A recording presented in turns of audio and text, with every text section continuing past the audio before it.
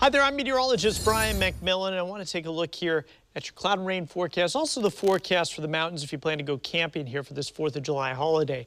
So it took a while to get through the clouds here today. In fact, a lot of us didn't even get through that marine layer. Tomorrow, that marine layer is going to be a lot thinner, so we should see the sunshine for the afternoon hours. That'll allow temperatures to warm back up into the 80s as well. Then we get into Saturday and Sunday. Temps are going to warm.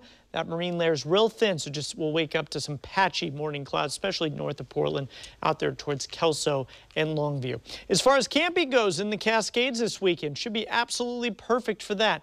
Friday, 70 to 75 degrees, lots of sunshine here all the way through Saturday and Sunday as well, with highs warming up for the weekend. Keep in mind, it could be packed up there in the parking lots and on the trailheads. Remember, you can always check out an updated seven-day forecast on the Fox 12 app or at kptv.com. And we'll see you tonight on TV on Fox 12 and Fox 12 Plus.